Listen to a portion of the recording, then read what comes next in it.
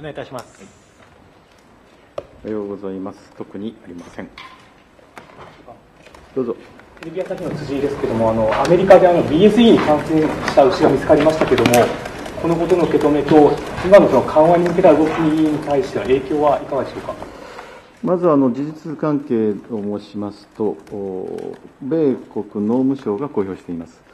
4例目の BSE 感染牛はカリフォルニア州で飼育された30ヶ月例以上の高齢の乳牛であり、通常の BSE サーベイランスで発見されたもので、食肉処理されていないため、食肉が流通することはないということのようであります。それで、日本にとってのこの輸入の問題ですが、米国産牛肉の輸入条件は現行の20ヶ月例以下です。で、本件はまあ30ヶ月月例以上の高齢牛ということで、輸入段階で特段の措置は必要ないと考えています。で、まあ、あの、この情報については、今、ちょうどあの、食品安全委員会の方では、様々ご審議いただいているんで、米国からあの詳細情報を入手して、この安全委員会には提供していきたいと、まあ、こういうことではあります。改善ですが、その日系の坂口ですが、今30ヶ月以下のものに条件を緩和しようと今、検討していると思うんですが、ここの検討に対する影響は今回のビル制覇というのはいかがでしょうか？これはあの食品安全委員会という非常に独立した委員会で、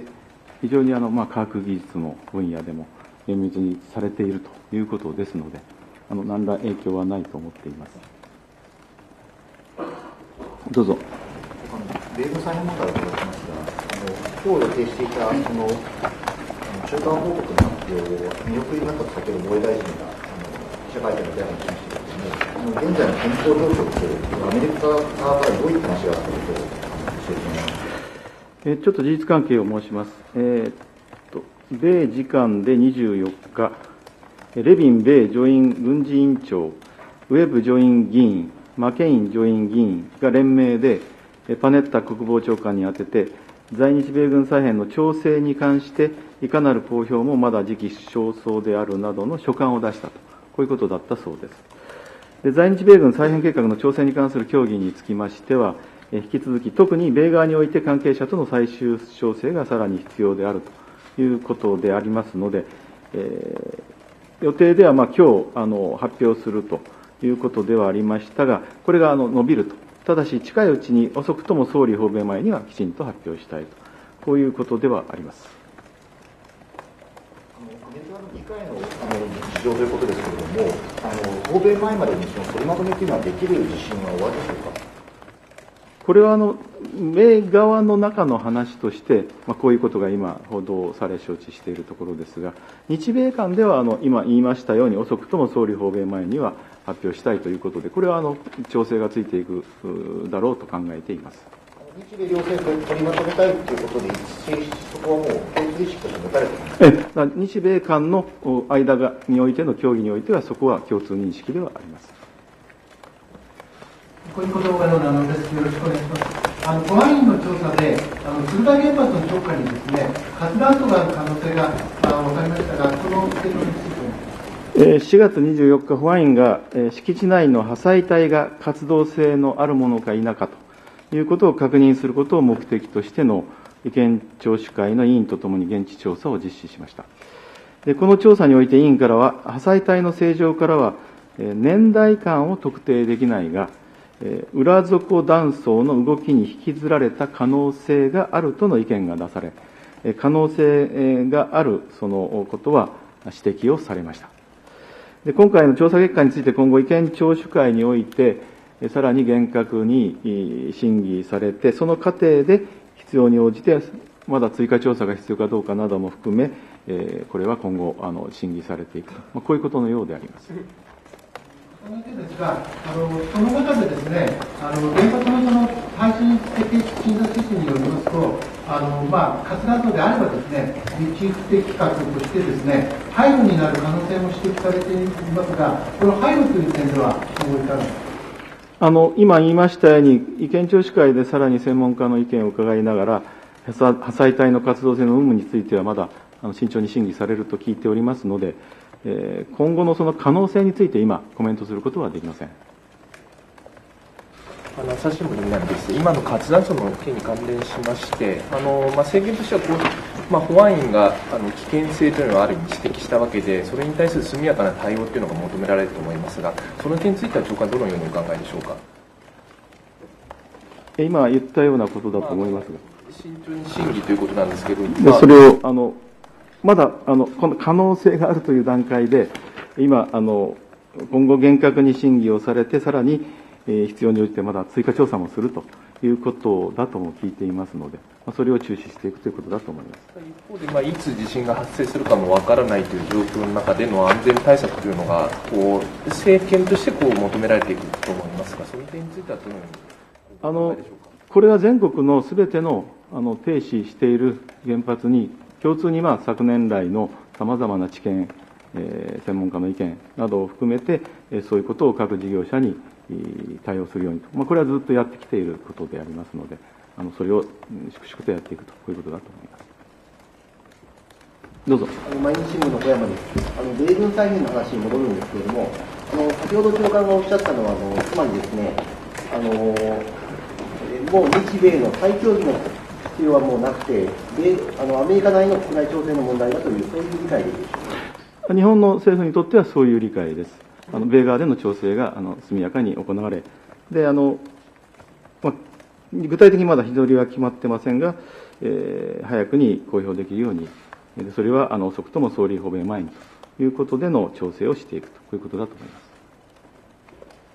ブルームバーグのペーパーです。あの、先ほどのあの、米国産牛肉の件で確認なんですけれども、まあ、えーと、高齢牛であって、輸入段階で特段の措置は必要ないとおっしゃったということは、そのことをもって、あの、輸入をまたトックするとかですね、そういった規制を強強化するっていう措置を取ることはないということで、はい、今、直ちにそういうことではないと。あの朝日新聞なんです。あの米軍の再編の件ですが、あのもう日米間での協議はないということです。これはもうすでに、まあ、お筋合意されている内内容面では変更はないという理解なんでしょうか。あのそういう理解で結構です。ただ、あの米国内で今やり取りされていると、これはあの日本側が何かコメントすることではないとは思っています。その米国内でのやり取りがこう日本、日米間でのこう内容面に影響して、まあ、再び影響してくる恐れというのは現段階でお考えではないですか？あのそう考えています。産経新聞に北木と言います。あの、この28日でサンフランシスコ講和条約のあの発行から60周年ということになるわけですけれども、日本がその主権を回復した日ということで、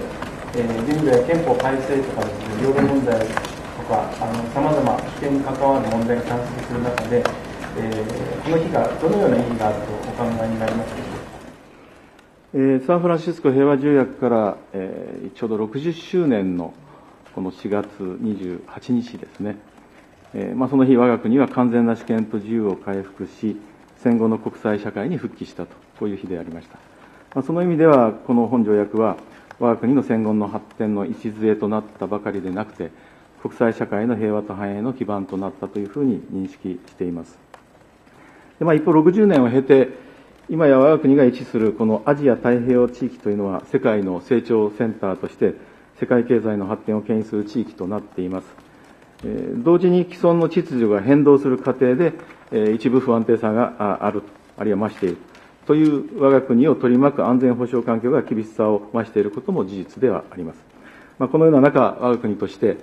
豊かで安定したアジア太平洋地域を実現実現するべく、日米同盟を基軸としつつ、近隣国との二国関係を強化し、同時に幅広い国や地域が参加する枠組みを活用しながら、この地域の秩序とルール作りに主体的に役割を果たしていきたい、このように考えております。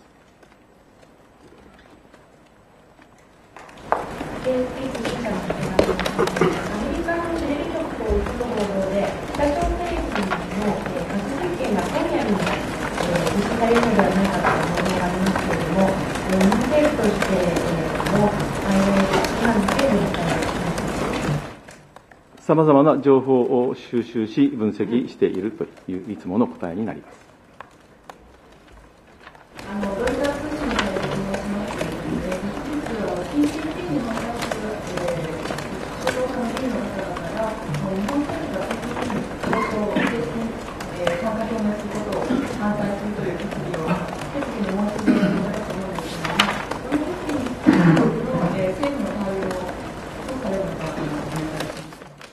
日のあの要請の中身が今正確でないんですが、日米首脳会談においてという、そういうことがありましたんです。ご存知です。昨日の要請は、その日米首脳会談において、えー、表明することを慎重にしてくださいという、そういうあの要請ではあったんですが、ご存知ですか。あの日米の会談でということまではそれが前提でありました、昨日は。それで共通して、あの、あれがまとめられたというふうに聞いていますので。あの、昨日そのようにあのお答えしています。つまり、あの日米首脳会談までもう1週間ぐらいしかないと。で、まあ、まだ今、様々議論がある。で、昨日も実はそれとはまた早くにやれという要請も受けています。で、今日もまだ今、後ほどまた早くにしなさいということも、もうそれぞれの意見があるわけで、ただ少なくとも昨日の日米首脳会談の時にという、要請の皆さんに関しては、まあ、残り1週間でまだそこでまでで、まあ、あのいわば義が熟すということにはならないのではないかとはお答えしました。スプレイの福山飛行場の配備時期に関して伺いたいんですが、あのアメリカ政府が今年秋としていた計画を7月にもあの配備する方向で検討しているということを報道があったんですけれども、事実関係をお願いします。えー、MV22 オスプレイにつきまして、2012年の後半に普天間飛行場に配備されている、えー、現在の CH46 からいわゆる切り替えられるということを承知しております。でその配備の時期や方法に関する詳細については、引き続き米国政府において今検討されているというふうに承知しています。まあ、今の質問ではこれでよろしいですかね。あの共同通信の滝と申します。あの先ほどちょっと BSB の話に戻るんですけど、あの TPP の事前協議で、あの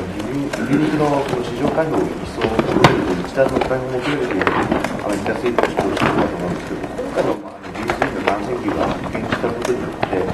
まあ、国内の慎重派、TPP 慎重派からもより慎重にという意見が出るかと思うんですけど、TPP の協議に関しての影あのちょっと誤解があるといけないので申しますと、この BSE 対策というのは、今、国内の検査体制、輸入条件といった BSE 対策の全般について、えー、安全委員会で最新の科学的知見に基づいて食品安全委員会が審議を行っているということであります。すなわち、このように BS 問題 BSE 問題については、TPP をめぐる議論とは全く別に、えー、科学的知見に基づいて、これ、個別に対応している案件であるということでありますので、まあ、そういう理解がな必要だと思います。すみません、朝日新聞の南です。あの米軍再編の関係でちょっと一点確認したいんですが、あのまあ、内容面での影響はないという理解なんですが、逆に言いますと、米国内でこの調整が遅れているのは、どういった点だと、えー、日本政府としては理解されているんでしょうか？あのさっき申しましたように、レビン米上院軍事委員長ほかの皆様がパネッタ国防長官に宛てて、えー、書簡を出されたというところだというふうに承知しています。その中身について、まあ、我々がさまざまコメントする必要はないと思います。ここは中身の話ではないという理解なんですか？あのどうもそのように受け止めてはいます。はい。すみません、朝日新聞の藤田と申します。あの一体一体改革の法案なんですが、今朝あの自公両党が国対委員長で協議しましてですね、あの11法案のうちマイナンバーとか年金交付国債をやっぱ外さないとその金曜日の審議に応じられないということを確認しました。で、まあいわゆる分離をせよという要求ですけど、これに対して金曜日までに政権として協議をされる対応されるお考えはありますでしょうか？それは国会の中で対応していただくということだと思います。